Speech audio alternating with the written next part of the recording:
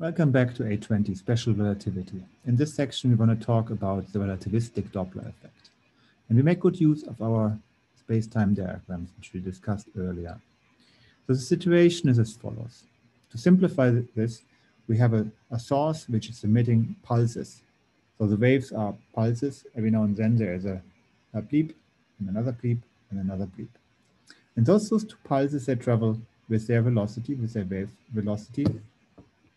Um, and they have a world line represented here in the space-time diagram. This is pulse number one, and this is pulse number two.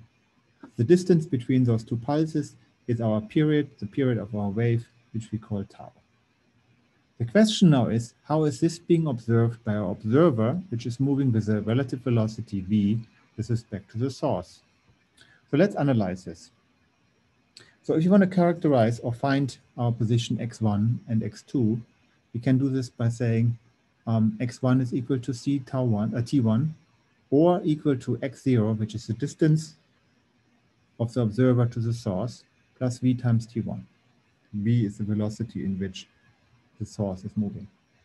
And similarly for tx2, we find c times t2 minus tau, and that's also equal x0 plus v times t1, uh, t2. So the distance in time, still in the reference frame S of the source, is given by c times tau over c minus v, and the distance in space is given by v times c times tau over c minus v. So the question is not how this is observed, how this is seen by the source, but how this is being seen by the observer. So we have to do apply Lorentz transformation. So in the S prime frame, which is the observer frame, we find delta t prime is equal to gamma delta t minus v over c square delta x. And then we just fill in the information as we discussed before. Um,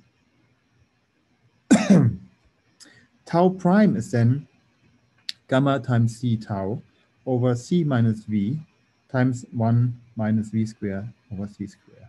And then we make use of beta equal v over c, and we um, make use of, of gamma equal 1 over square root 1 minus beta square.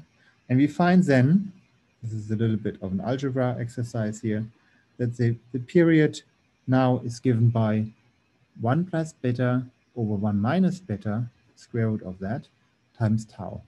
And the frequency is the inverse, we have 1 minus beta over 1 plus beta, square root of that, uh, times the frequency. So we just calculated relativistically how the period and the frequency of a wave um, is, is uh, Lorentz transformed.